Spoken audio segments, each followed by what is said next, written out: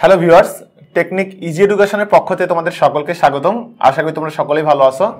তো আজ আমি তোমাদের নবম, দশম শ্রেণির অর্থনীতি বিষয় নিয়ে আলোচনা করব এবং আজকে আমরা অর্থনীতির কিছু মৌলিক ধারণা নিয়ে কথা বলব। সেই মৌলিক ধারণাগুলোর মধ্যে থাকবে আয়, সঞ্চয় ও বিনিয়োগ। দেখো, আয়, সঞ্চয় ও বিনিয়োগ, এই ধরনের শব্দগুলো কিন্তু আমরা প্রতিনিয়ত শুনে থাকি। তো আজকে আমরা দেখব যে এই আয়, সঞ্চয় এবং বিনিয়োগের মাধ্যমে আমরা আমাদের যে অর্থনীতির যে সকল কার্যক্রমগুলো রয়েছে, সেগুলো কীভাবে সম্পাদন করে থাকি। বিশেষ করে আমাদের অর্থনৈতিক কার্যক্রমগুলোকে সঠিকভাবে পরিচালনা করার জন্য আমাদের আয়, সঞ্চয় এবং বিনিয়োগ সম্পর্কে ধারণা রাখতে হবে। তো বিশেষ করে আয় সম্পর্কে আমরা জানি, আসলে প্রত্যেকটা বিষয় সম্পর্কে আমাদের ধারণা কম বেশি রয়েছে। তবে অর্থনীতিতে আমরা এগুলো কি অর্থে কীভাবে ব্যবহার করি সেটা সম্পর্কে। যেমন দেখো একটা কথা বলে রাখি যে বাজার। বাজার বললে আমরা মনে করি যে এটা তো আমাদের একদম পরিচিত একটা শব্দ। এটা আবার কি দেখতে হবে, কি পড়তে হবে বা কি জানতে হবে? তো তারপর আমরা কি করি? যে জানি কি যে যেখানে সকলে একত্রিত হচ্ছে জনসমাগম হচ্ছে মানুষজন দোকানপাট খুলে নিয়ে বসতেছে, সেটাকে আমরা বাজার বলে থাকি। কিন্তু অর্থনীতি কি সেটা কি বাজার? না অর্থনীতি সেটা কিন্তু বাজার না। তো ঠিক তেমনি অর্থনীতির এরকম অনেক বিষয় রয়েছে যেগুলো আমাদের, আমরা যে ধরনের চিন্তা ভাবনা করে থাকি, যে যা কিছু ভেবে থাকি, তার বিপরীত দিকটা নিয়ে কথা বলে, বিপরীত দিকটা নিয়ে আলোচনা হয়। ঠিক তেমনি আমরা এখানে তাই দেখব যে আমাদের এই যে বিভিন্ন ধারণার সময়ের কথা বলতেছি, আমাদের বিভিন্ন ধারণা দেখব যে কি হচ্ছে পরিবর্তন হচ্ছে এক একটা এক এক রকম। আর এই ধারণাগুলো সম্পর্কে যদি আমরা মানে এগুলো যদি, এগুলো সম্পর্কে যদি স্পষ্ট ধারণা থাকে, সেক্ষেত্রে যে সুবিধাটা হবে সেটা হচ্ছে যে আমরা সঠিকভাবে সেটা উপস্থাপন করতে পারব, সঠিকভাবে আমরা সেই বিষয়গুলো সম্পর্কে জানতে পারব। তো যাই হোক, প্রথমত বলতেছে আয়। আয় সম্পর্কে যদি বলি, দেখো, আয় কথাটা কিন্তু আমরা খুবই পরিচিত একটা শব্দ। কেননা মানুষকে তার প্রত্যেক জীবন পরিচালনা করার জন্য আয় করাটা জরুরি। অর্থাৎ সে যে উপকরণগুলো ব্যবহার করতেছে, এখন একজন ব্যক্তিকে আয় করার জন্য তার কিছু উপকরণ ব্যবহার করতে হয়। সেই উপকরণগুলো ব্যবহার করার মাধ্যমে সে কী করতেছে? আয় করতেছে। তুমি ধরো একজন উবার ড্রাইভার সে সেও কিন্তু আয় করতেছে। তাই কি করতেছে? সেখানে একটা উপকরণ ব্যবহার করতেছে, তাকে গাড়িটা ব্যবহার করতেছে। গাড়িটা ব্যবহার করার মাধ্যমে সে কী করতেছে? আয় করতেছে। এখানে তার একটা পরিশ্রম রয়েছে। তাহলে একটা উপকরণ ব্যবহার করতে হচ্ছে, উপকরণ ব্যবহার করতেছে, উপকরণ ব্যবহার করতেছে, পাশাপাশি কী করতেছে? পরিশ্রম করতেছে, তাকে একটা শ্রম দিতে হচ্ছে। শ্রম দেওয়ার মাধ্যমে কি হচ্ছে? শ্রম দেওয়ার মাধ্যমে কিন্তু সে আয় করতে পারতেছে। তাহলে আয় কি? যখন আমরা কোনো জায়গায় কোনো মানে কোনো উপকরণ ব্যবহার করে দেখা যাচ্ছে যে আমরা পরিশ্রমের মাধ্যমে যে অর্থটা পাবো সেটাকে আমরা বলতেছি আয়। আর প্রত্যেকটা ক্ষেত্রে, মানুষের প্রত্যেক জীবনে, প্রত্যেকটা ক্ষেত্রে কি রয়েছে? এই আয় শব্দটা, আয়ের সাথে মানে সম্পৃক্ত রয়েছে আমরা। কেননা আমরা যদি আয় না করতে পারি, তাহলে আমরা সঠিকভাবে পরিচালিত হতে পারব না। আর সঠিকভাবে পরিচালিত হওয়াটা তো জানোই যে আমাদের মানে বেঁচে থাকার জন্য খুবই গুরুত্বপূর্ণ উপাদান। সঞ্চয়। সঞ্চয় শব্দটাও আমাদের খুবই পরিচিত শব্দ। আমরা ছোটবেলা থেকে গ্রাম অঞ্চলে এই বিষয়টা দেখেছি। বিশেষ করে দেখবা যে ছোটবেলা যে কাজগুলো করা হতো। আমি জাস্ট একটা কথা বলি, তাহলে সঞ্চয়টা সম্পর্কে আরও পরিষ্কার ধারণা হয়ে যাবে যে গ্রাম অঞ্চলগুলোতে এটা বেশি হতো। বিশেষ করে গ্রাম অঞ্চলে মাটির ব্যাংক পাওয়া যেত। মাটির তৈরি ব্যাংক সেখানে কি করা হতো? যে ব্যাংকটা, ব্যাংক সম্পর্কে অনেকেরই হয়তো এখন শহরের ছেলে মেয়েদের ব্যাংক সম্পর্কে অনেকেরই ধারণা তারা ব্যাংক বলতে যে আমাদের যে প্রাইভেট বেসর, সরকারি বেসরকারি যে ব্যাংকগুলো রয়েছে, ব্যাংক বলা মাত্রই তারা কিন্তু সেই ব্যাংকে বুঝে থাকে। কিন্তু আমাদের যে মাটির তৈরি ব্যাংক মানে ছোটবেলায় যেগুলো গ্রাম অঞ্চলে দেখা যেত সেই মাটির তৈরি ব্যাংকের কিন্তু প্রচলন কিন্তু এখন আর বিশেষ করে শহর অঞ্চলে এগুলো দেখা যায় না। গ্রাম অঞ্চলের প্রচলনটা অনেকাংশেই কমে এসেছে। তাহলে ওই ব্যাংকটাতে সিস্টেম কেমন ছিল? যে মাটির তৈরি একটা হাড়ির মতো, সেখানে ছোট মানে একটা ছিদ্রের মতো ছিল। সেই ছিদ্রটা দিয়ে টাকা বা পয়সা ঢোকানো যায়, কিন্তু বের করা যায় না। বের করা যায় না মানে কি? বের করতে হলে তোমাকে ব্যাংকটা ভেঙে ফেলতে হবে।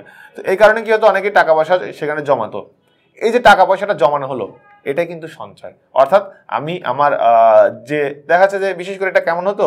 ছোট বাচ্চারা বা দেখা যাচ্ছে অনেকে বড় মানুষও কি করতো ব্যাংক রাখতো। দেখা যাচ্ছে সে বাজার করল, বাজার করে কিছু টাকা বাঁচলো সেই দিনটাতে তার বাজার করা যে একটা নির্ধারণ করা বাজেট ছিল, সেই বাজেট বা যে টাকা খরচ করবে করার সিদ্ধান্ত নিয়েছিল। কিন্তু বাজার করতে যেয়ে দেখল যে সেই টাকাটা বেঁচে গেছে, তখন কি করল? সে টাকাটা নিয়ে কিন্তু সে রেখে দিচ্ছে।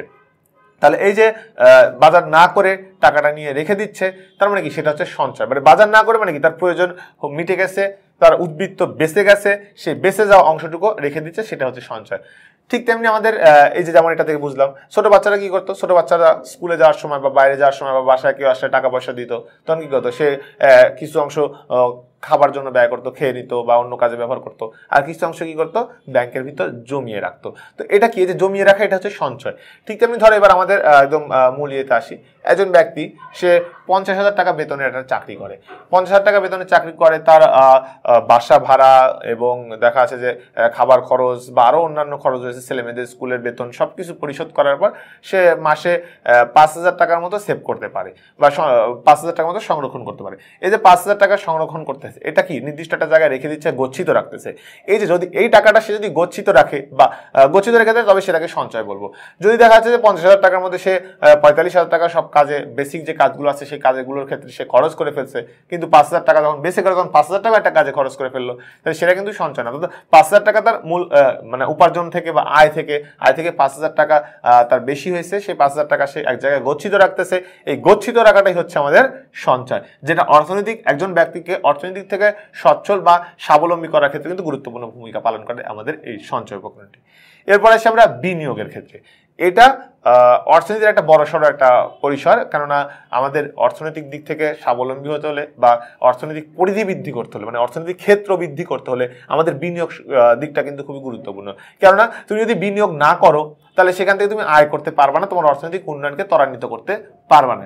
এই কারণে কিন্তু বিনিয়োগটা হচ্ছে সবচেয়ে গুরুত্বপূর্ণ একটা উপাদান বা গুরুত্বপূর্ণ একটা মাধ্যম আমরা বলে থাকি। বিনিয়োগটা বিষয়টা কেমন?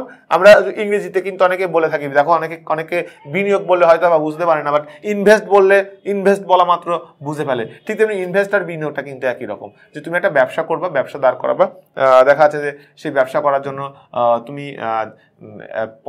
বিশ লক্ষ টাকা তুমি ইনভেস্ট করব। মানে নির্ধারণ করলে যে আমি বিশ লক্ষ টাকা আমি এই ব্যবসার জন্য খরচ করব। তাহলে এই যে বিশ লক্ষ টাকা খরচ করা মানে কি?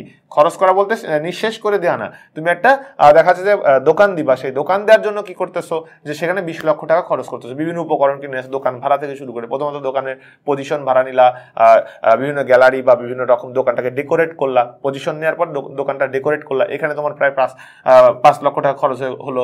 তারপরে দেখা যাচ্ছে কি, বাকি যে পনেরো লক্ষ টাকা, সেই পনেরো লক্ষ টাকার বিভিন্ন মালপত্র তুমি কিনে নিয়ে আসলা, নিয়ে এসে দোকানে সাজাইলা। তারপরে কি, এই যে বিশ লক্ষ টাকা তুমি এখানে বিনিয়োগ করলা, বিনিয়োগ করার কারণে কি হচ্ছে, সেখান থেকে তুমি অর্থ উপার্জন করতে পারতেছো। এই যে তারপর থেকে কি হচ্ছে, প্রতিনিয়ত তুমি সেখানে পণ্য নিয়ে আসতেছো, নতুন নতুন পণ্য নিয়ে আসতেছো, বিক্রি করতেছো, সেখান থেকে তুমি একটা লভ্যাংশ পাচ্ছ। তার মানে কি, এই যে বিনিয়োগ থেকে কিন্তু আবার বাণিজ্যের সম্প্রসারণ ঘটতেছে। এই কারণে বলে নিলাম, প্রথমে বলে নিলাম যে আমাদের মানে বিনিয়োগটাকে, আমাদের যদি অর্থনৈতিক কার্যক্রমটাকে আমরা সম্প্রসারিত করতে চাই, অর্থনৈতিক কার্যক্রমটাকে বৃহৎ আকারে নিয়ে যেতে চাই তবে বিনিয়োগটার উপর আমাদেরকে গুরুত্ব দিতে হবে। বিনিয়োগটাই কিন্তু আমাদের এখানে গুরুত্বপূর্ণ মাধ্যম বা গুরুত্বপূর্ণ দিক হিসাবে বিবেচনা লাভ করবে। এই যে আমরা তিনটা দিক বললাম, আয়, সঞ্চয় এবং বিনিয়োগ। আসলে আমাদের এই তিনটা বিষয় সম্পর্কে এগুলোকে আমাদের বলা হচ্ছে অর্থনীতির ধারণা। এই এই সম্পর্কিত বিষয়গুলো সম্পর্কে যদি আমাদের ধারণা থাকে, তাহলে আমাদের অর্থনৈতিক দিক থেকে আমরা মানে মানে অর্থনৈতিক কার্যক্রম সম্পাদন করা আমাদের জন্য অনেক সহজ সহজ সহজ হয়ে যাবে। তো এখানে অর্থনৈতিক কার্যক্রমটাকে সহজ, সাবলীল এবং গতিশীল করার জন্যই কিন্তু আমাদের এই উপকরণগুলো দরকার।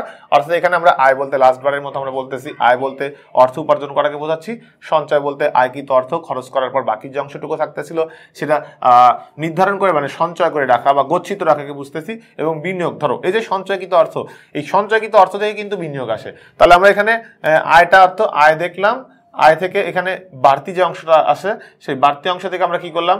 সঞ্চয় করলাম। বাড়তি অংশটা কিন্তু আমরা সঞ্চয় করতে পারি। তাহলে আমরা এখানে আয় থেকে সঞ্চয়টা আসতে তুমি আয় করতে পারলে তবে কিন্তু সঞ্চয় করতে পারবে তুমি আয় না করতে পারলে সঞ্চয়টা কই করবা কোথা থেকে? এরপর দেখো, সঞ্চয় করা অর্থ কিন্তু যে অর্থটা আমরা আয় করতেছি, যেটা আমাদের প্রত্যেক জীবনে প্রয়োজন হচ্ছে যে অর্থগুলো, সেগুলো তো আমরা ব্যয় করেই ফেলতেছি। সেগুলো তো আমাদের ব্যয় হয়ে যাচ্ছে। কিন্তু এই জায়গাটাতে আমরা কি দেখতেছি? যে আমরা যে অর্থটা সঞ্চয় করলাম সঞ্চয় করা অর্থ কিন্তু আমরা পরবর্তীতে বিনিয়োগ করি। মানে সঞ্চয় করা অর্থ যে বিনিয়োগ করি সচরাচর তা না, কিন্তু এখানে আমরা বলতেছি যে আমাদের সঞ্চয়কৃত অর্থটাই কিন্তু বিনিয়োগে সহায়তা করে। বিনিয়োগে সহায়তা করতেছে। তাহলে এখানে আমরা বিনিয়োগ করলাম। আর এই বিনিয়োগ করার কারণে কি হচ্ছে? আমাদের পুরো অর্থনৈতিক কার্যক্রমটা গতিশীলতা লাভ করতেছে। তাহলে আয় আয় থেকে সঞ্চয়, আয়ের উদ্বৃত্ত অংশ বা বাড়তি অংশ সঞ্চয় এবং সঞ্চয়কৃত অর্থ বা অন্য কোনো অর্থ যখন আমরা কোনো ব্যবসায়িক কাজে বা অন্য কোনো কাজে ক্ষেত্রে কাজে লাগাচ্ছি বিশেষ করে এটা আমরা গ্রামীণ ভাষা বা আঞ্চলিক ভাষায় বলতে পারি যে অর্থটাকে খাটানো বা কাজে লাগানো। এই যে অর্থটাকে খাটানো বা কাজে লাগানো কথাটা বলতেছি, এই খাটানো বা কাজে লাগানোটাই হচ্ছে কিন্তু বিনিয়োগ। আর একটা বিষয় খেয়াল করে দেখো যে আমাদের যে অর্থনৈতিক অগ্রগতি বা অর্থনৈতিক যে উন্নয়ন, এই অর্থনৈতিক উন্নয়নের মূল দিকটা কিন্তু হচ্ছে বিনিয়োগ। অর্থাৎ তুমি যত বেশি বিনিয়োগ করতে পারবা তোমার অর্থনৈতিক উন্নয়নটা কিন্তু তত বেশি ত্বরান্বিত হবে। বিনিয়োগ না করতে পারলে অর্থনৈতিক উন্নয়ন ত্বরান্বিত হবে না। এই ক্ষেত্রে পুঁজিবাদী অর্থব্যবস্থা যে সকল দেশগুলোতে প্রচলিত রয়েছে বা জোরালো আকারে ধারণ করেছে পুঁজিবাদী অর্থব্যবস্থা, সেক্ষেত্রে ব্যক্তি নিজে বিনিয়োগ করতে পারে। আর ব্যক্তি নিজে বিনিয়োগ করতে পারার কারণে মানে প্রত্যেক ব্যক্তির কিন্তু বিনিয়োগ করার একটা অধিকার রয়েছে। আর ব্যক্তি নিজে বিনিয়োগ করতে পারার কারণে অর্থনৈতিক থেকে স্বাবলম্বী হতে পারে। এই ক্ষেত্রে ঝুঁকি নেওয়ার একটা প্রবণতা থাকতে হবে। কেননা ঝুঁকি না নিলে তুমি সেখানে বিনিয়োগ করার সাহস পাবো না, বিনিয়োগ করা সম্ভব হবে না এবং অর্থনৈতিক দিক থেকে স্বাবলম্বী হওয়া সম্ভব হবে না। তো এই ছিল আমাদের আয় সঞ্চয় এবং বিনিয়োগ। আমরা প্রথমে বলে নিয়েছিলাম যে আমাদের অর্থনীতির যে বিশেষ মৌলিক ধারণাগুলো রয়েছে, সেই ধারণা ভিত্তিক আমাদের ক্লাস এবং আমরা এখানে আয় সম্পর্কে, সঞ্চয় সম্পর্কে এবং বিনিয়োগ সম্পর্কে ধারণা ধারণা লাভ করলাম। এর পরবর্তী ক্লাসগুলোতে আমাদের বিভিন্ন যে ধারণাগুলো মানে মৌলিক যে দিকগুলো রয়েছে, সেগুলো নিয়ে কথা বলব। এই পর্যন্ত সকলে ভালো থাকো। ধন্যবাদ সবাইকে।